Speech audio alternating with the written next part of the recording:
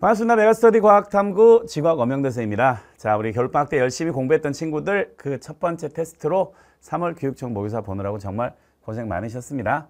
자, 모의고사는 항상 선생님이 하는 얘기 모의고사 잘 보면 뭐가 좋다? 기분이 좋고 모의고사를 못 보면 기분이 나쁘지만 모의고사 못 봤던 친구들도 그 모의고사 때 틀렸던 문제들 다시 안 틀리게 공부를 해서 결국엔 우리가 잘 봐야 되는 시험은 올해 11월 16일 날 보는 보다 수능 잘 봐서 대학 잘 가면 되는 거죠. 모의고사 결과 하나하나에 일희, 일비 할 필요는 없습니다. 자, 잘 본 친구들 그만큼 열심히 공부했으니까 그리고 문제 적용 잘했으니까 잘 본 거고요. 그 점수가 조금 안 나온 친구들이 하더라도 선생님 항상 하는 얘기 이게 수능이었으면 정말 큰일 날 뻔했는데 이게 수능이 아니라서 다행이라고 생각을 하시고 다음번에 똑같은 애 틀린 주제를 나왔을 때 안 틀리도록 그러기 위해서 모의고사 보는 겁니다. 아시겠어요? 그래도 간단하게 처음 모의고사 어떻게 나왔는지 출제 경향과 그리고 이제 어떤 문제들이 좀 어, 여러분들이 좀 눈여겨봐야 되는지만 좀 간단히 좀 보도록 할게요.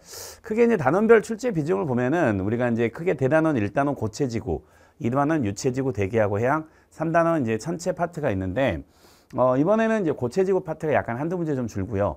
천체가 좀 문제가 많이 나오고 천체 문제를 좀 4페이지에 좀 약간 집중적으로 배치한 특징이 좀 있었어요.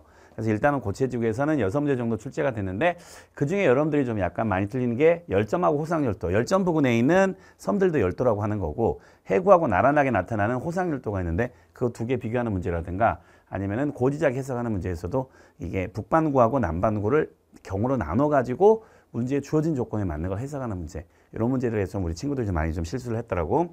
그 다음에 2단원의 대기하고 양 파트는 이제 일곱 문제가 출제가 됐는데, 음, 이 문제 같은 경우에는 이제 기후변화의 외적 원인 문제가 사실은 전형적으로 출제가 됐지만 아직까지 이런 문제의 풀이 연습이 조금 더 필요할 것 같아요.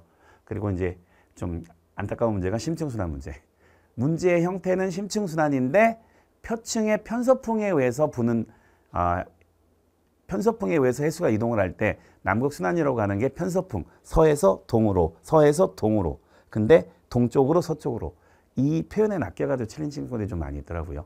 수능 때는 우리 친구들 그런 실수 거의 안 할 겁니다. 자, 그리고 이제 천체, 파, 천체 파트에서 한 일곱 문제 정도 출제가 됐는데, 어, 천체 파트에서도 허블의 법칙 비교적 간단하게 나온 문제인데, 이게 정답이랑 50% 정도밖에 안 나오더라고요. 이 허블의 법칙은 아주 이거보다 좀 더 어렵게 자료를 구성할 수 있는 문제 어, 내용이지만 그래도 이번 3월 합격에서 그렇게 어렵게 구성은 안 했는데 아, 좀 더 비례관계 이용해서 계산하는 거 연습이 좀 더 필요할 것 같고요. 그 다음에 이 태양의 구조 내부에서 지구학 내용이 아닌 거에 좀 낚시로 넘어간 친구들이 있었, 어요 40%라고 하는 걸 판단하는 거. 자, 그런 것들만 조금 주의하면 될 것 같고, 단원별은 대체로 이제 이렇게 출제가 됐는데, 어, 출제 경향 자체를 간단하게 보면은, 지금 이제 어제 여러분들이 시험 봐가지고, 우리 메가스터디 와서 여러분들이 채점을 해 봤을 텐데, 1컷이 42점 정도 나오더라고요. 그러면은 1등급 컷만 보면은 작년 수능 시험 정도 난이도였다는 얘기야. 작년, 작년 수능이 1컷이 한 42 정도 나왔거든요. 그 표준 점수는 이제 1컷 기준으로 이제 71점, 다른 과목보다 한 1점 정도 좀 높게 나오긴 해요. 근데, 어, 그러면 아직은 여러분들이 수능 볼 때 지금의 여러분들 실력과 수능 시험 볼 때 여러분들 실력은 아주 하늘과 땅 차이가 될 겁니다. 엄청나게 높아질 거예요. 아시겠어요? 그래서 그 수능 시험 볼 때 이제 수능을 앞두고 여러분들이 3월 교육 정보사를 다시 풀어본다고 하면은요, 여러분들 전원 다 만점이 나올 거예요. 알겠어요? 그래도 3월 교육청 모의고사 치고는 그래도 좀 난이도 있게 출제가 됐는데 좀 특징이 어떤 특징이냐면은 자 1번부터 이제 10번까지 정답률을 쭉 보면은요 특징적인 거. 자 쌤이 어, 여기 딱 5번까지 쪼개잖아요. 5번까지 쪼개면 여기 1페이지죠.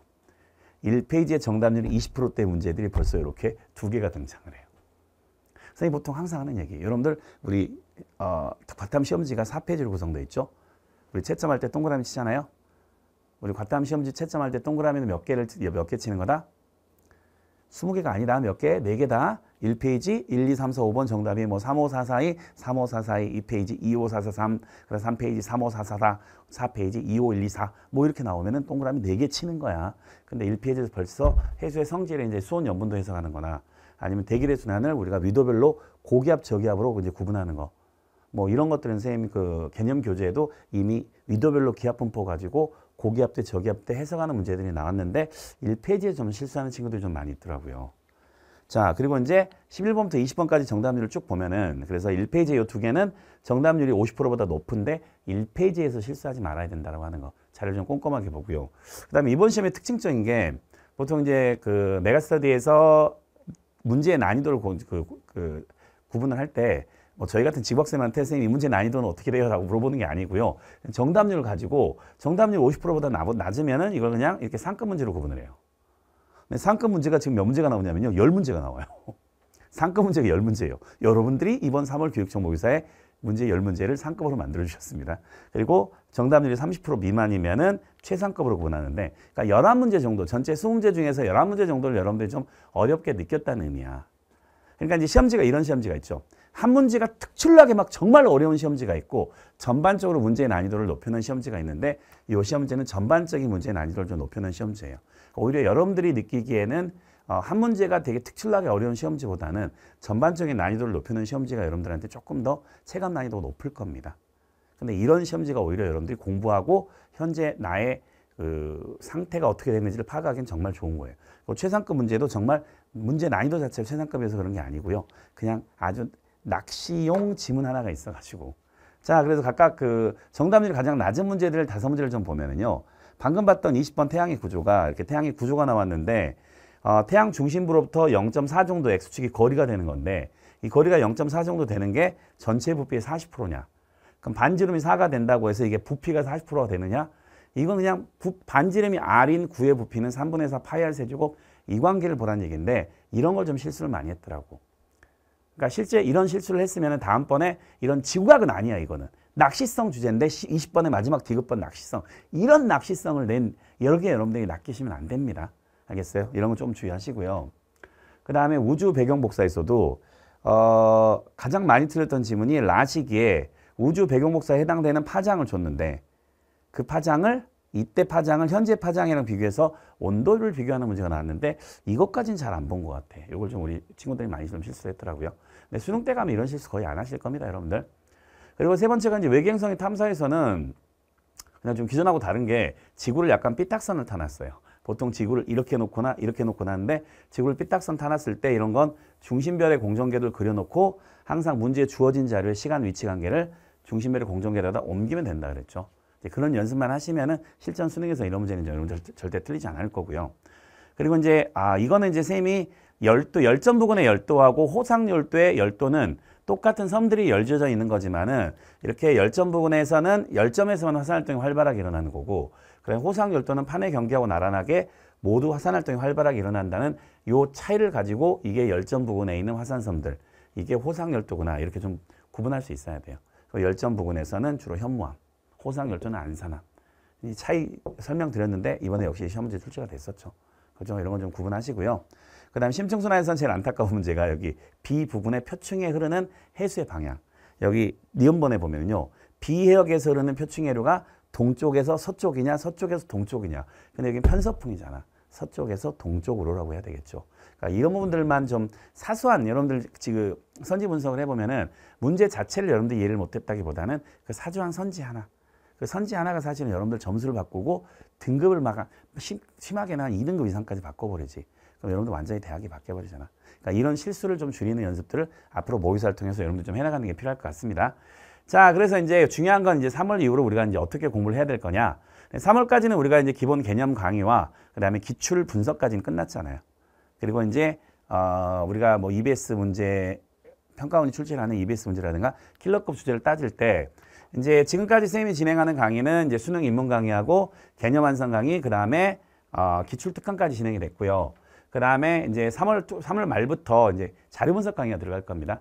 이미 현장에서 이번 주부터 들어가기 시작을 해서 온라인도 선생님이 다음 주부터 이제 강의가 오픈이 되면은 다음 주부터 자료 분석 강의를 4주 동안 진행을 해가지고 근데 중간에 그 중간고사 브레이크가 있어가지고 한 3주 정도 아마 현장 강의가 좀 그 쉴 때가 있어요. 그래서 5월 첫째 주까지 자료 분석 강의 끝내고요. 그리고 나서 6월부터, 이 5월부터는 이제 본격적인 엔제 문제풀이가 될 겁니다. 그래서 Amazing N제 시즌 1. 그리고 7월 달에 Amazing N제 시즌 2. 그래서 약간 고난도 문제풀이 위주로 여러분들 같이 연습을 할 거예요. 왜냐면 기본적인 기출과 EBS 자료 분석 끝나고 고난도 N제 풀이 하고 나서 그 다음에 이제 9월 달에는 9월 이제 9월 10월은 마무리하는 단계죠.